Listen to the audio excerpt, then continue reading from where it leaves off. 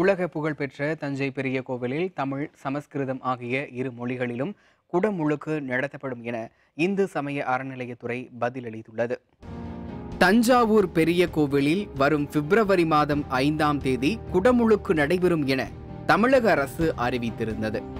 குடமுழுக்கு பணிகள் வேகம் எடுத்ததைப் போல தமிழில் குடமுழுக்கு நடத்த வேண்டும் என்று ஒரு தரப்பினரும் சமஸ்கிருதத்தில்தான் குடமுழுக்கு நடத்த வேண்டும் என மற்றொரு தரப்பினரும் வலியுறுத்த ஆரம்பித்தனர்.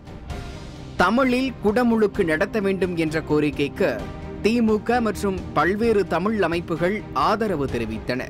தொடர் போராட்டங்களும் நடைபெற்றன. தஞ்சை பெரிய கோவிலில் தமிழ் மொழியில்தான் குடமுழுக்கு விழா நடத்த வேண்டும் என்று சென்னை உயர்நீதிமன்றத்தில் தமிழ் தேச பொதுவுடைமை கட்சியைச் சேர்ந்த பே மணிகரசன் வழக்கு தொடர்ந்தார். அதே போல சமஸ்கிருதத்தில் குடமுழுக்கு நடத்த வேண்டும் என சென்னை மயிலாப்பூரைச் சேர்ந்த ரமேஷ் என்பவரும் வழக்கு தொடர்ந்திருந்தார். இதற்கிடையே தொல்லியல் துறை அனுமதி பெறாமல் குடமுழுக்கு விழா நடைபெறுவதாக சரவணன் என்பவரும் வழக்கு தொடர்ந்திருந்தார்.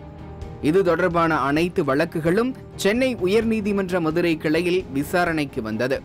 அப்போது பதினைந்து விதமான நிபந்தனைகளுடன் குடமுழுக்கு நடத்த தொல்லியல் துறை அனுமதி வழங்கியுள்ளதாகவும் தமிழ் மற்றும் சமஸ்கிருதம் ஆகிய இரண்டு மொழிகளில் குடமுழுக்கு நடத்தப்படும் என இந்து சமய அறநிலையத்துறை நீதிமன்றத்தில் தெரிவித்துள்ளது.